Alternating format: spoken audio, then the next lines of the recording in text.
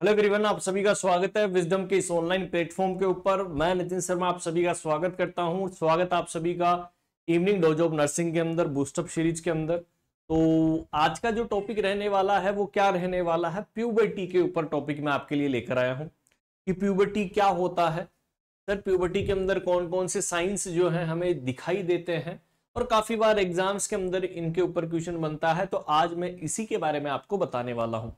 तो फटाफट से सभी लोगों को good evening to all share कर दीजिएगा क्लास को, अपने सभी दोस्तों तक क्लास को पहुँचा दीजिए और मैं आपको प्यूबर्टी के बारे में बताने वाला हूँ. ओके चलेगा स्टार्ट करते हैं सबसे पहले बिना किसी देरी के. कि सर, सबसे पहले टर्म जो पूछी जाती है, वो यही पूछी जाती है कि सर प्यूबर्टी का मतलब क्या होता है? ठीक है? कि सर, आधे लोग तो ये नहीं जानते कि सर प्यूबर्टी होती क्या है? कैरेक्टरिस्टिक्स तो आपको पता होगा कि क्या क्या कैरेक्टरिस्टिक्स होते हैं. लेकिन आपको सबसे पहले जानना होगा कि सर प्यूबर्टी क्या होती है, कि सर प्यूबर्टी हमें किस चीज़ के बारे में बताती है, प्यूबर्टी किस चीज़ को इंडिकेट करती है। आप फटाफट से कमेंट भी कर सकते हैं कि प्यूबर्टी जो होती है, वो हमें किस चीज़ के अंदर इंडिकेशन देने का काम करती है। आप आंसर करोगे कि ये एडल्टहुड के बारे में बताती है। इसके बारे में बताती है? एडल्टहुड के बारे में हमें बताती है एंड और क्या इंफॉर्मेशन हमें देती है कि सर किस तरीके से सेकेंडरी सेक्सुअल कैरेक्टरिस्टिक्स आते हैं? कौन से? सेकेंडरी सेकेंडरी सेक्सुअल कैरेक्टरिस्टिक्स कौन सा? सेकेंडरी सेक्सुअल कैरेक्टरिस्टिक्स जो है, हमें दिखाई देते हैं। इज़ दैट क्लियर तो सर दो चीज़ें हम प्यूबर्टी के अंदर देखते हैं कि एक तो एडल्टहुड हम चेक करते हैं और दूसरा सेकेंडरी सेक्सुअल कैरेक्टरिस्टिक्स जो है उनका क्या होना? अपीरियंस होना। क्या होना? अपीरियंस का मतलब आना। ये चीज़ हम किसके अंदर चेक करते हैं? प्यूबर्टी के अंदर चेक करते हैं।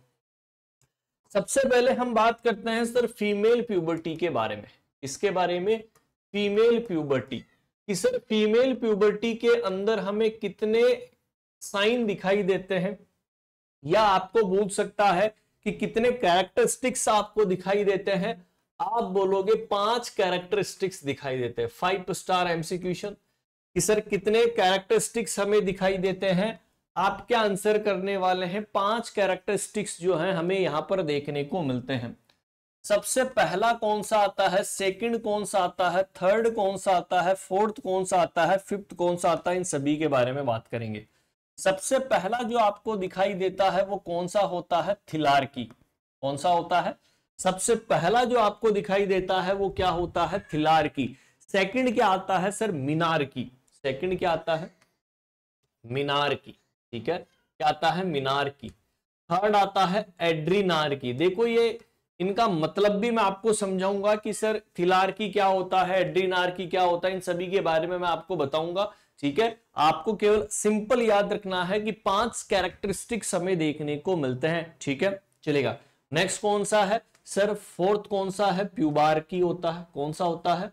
प्यूबार की। और फिफ्थ जो होता है, वो हाइट एंड क्या देखने को मिलता है? वेट हमें देखने को मिलता है।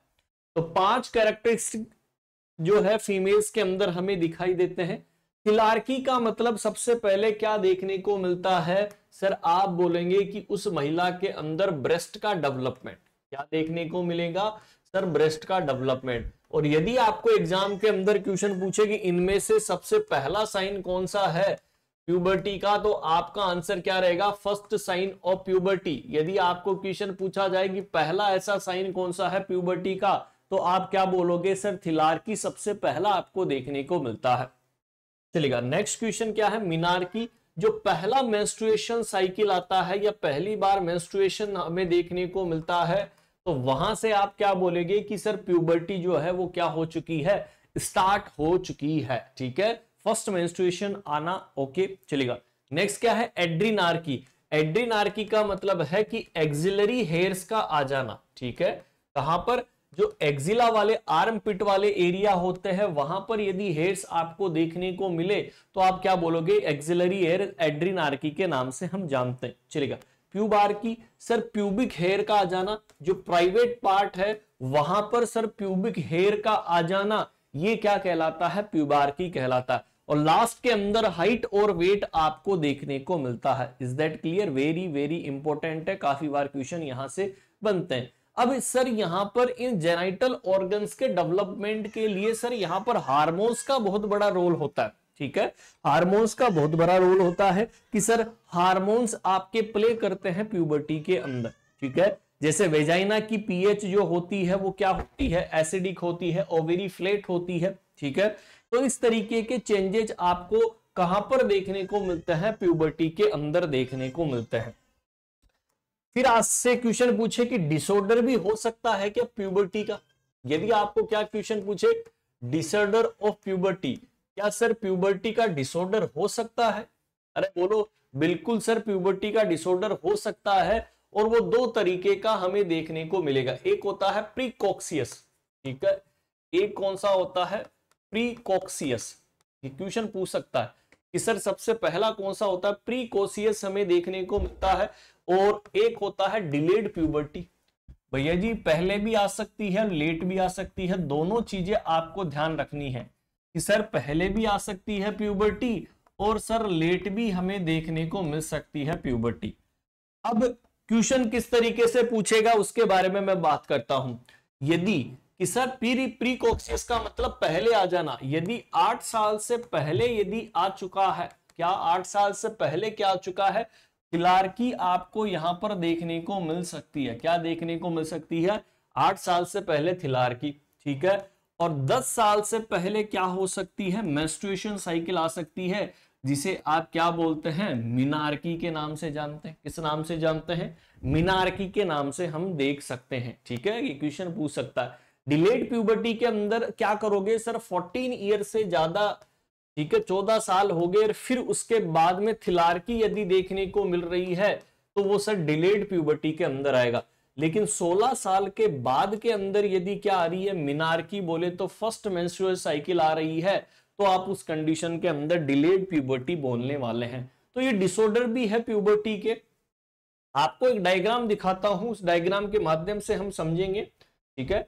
ये देखिएगा कि सर, सबसे पहले हम बात करते हैं puberty in boys versus girls see girls के अंदर ब्रेस्ट बर्ड्स जो है, वो डेवलपमेंट हो जाता है। बॉडी हेड्स आपको देखने को मिलते हैं, जो हिप वाला पोर्शन होता है, वो वाइड हो जाता है, ठीक है? बॉडी वेट धीरे धीरे बढ़ना स्टार्ट हो जाता है फैट का डिपोजिशन होना स्टार्ट हो जाता है, और फ़र्स्ट मेंस्ट्रुअल पीरियड आपको देखने को मिलता है, ये गर्ल्स के अंदर प्यूबर्टी देखने को मिले। बॉयज़ के अंदर पेनिस और टेस्टिस जो होते हैं, वो धीरे धीरे ग्रोथ करना स्टार्ट कर देते हैं। इरेक्शन आपको देखने को मिलता है इजेकुलेशन हैपन्स मतलब इजेकुलेशन जो है, वो करने लग जाते हैं। बॉडी हेयर बोले तो फेशियल हेयर आपको देखने को मिल सकते हैं। वॉइस चेंजेज मतलब जब आवाज़ जो है, वो वहाँ पर वॉइस चेंजेज भी आपको जो है वो देखने को मिलती है। शोल्डर ब्रोडन हो जाते हैं और वेट और मसल्स जो है वो क्या हो जाती है? गेन आपको देखने को मिलती है। तो ये काफ़ी सारे प्यूबर्टी जो होती है, वो एडल्टहुड को बताती है और किस चीज़ को डिनोट करती है? इज़ दैट क्लियर समझ में आ गया? एडल्टहुड सेकेंडरी सेक्सुअल कैरेक्टरिस्टिक्स का अपीरियंस आपको देखने को मिलता है। एक छोटा सा टॉपिक था, आपको एग्ज़ाम्स के अंदर पूछता है कि सर प्यूबर्टी क्या होती है? प्यूबर्टी के अंदर कौन कौन से साइन एंड सिम्टम्स या आपको देखने को मिलते हैं? आई होप आप सभी को समझ में आ गया होगा। डिलेड प्यूबर्टी के डिसऑर्डर भी हैं सर प्रीकॉक्सियस बोले तो पहले भी हो सकता है। तो ये काफ़ी बार एग्ज़ाम के अंदर क्वेश्चन पूछे जाते हैं। आई होप सभी को मज़ा आया होगा इस वीडियो के अंदर।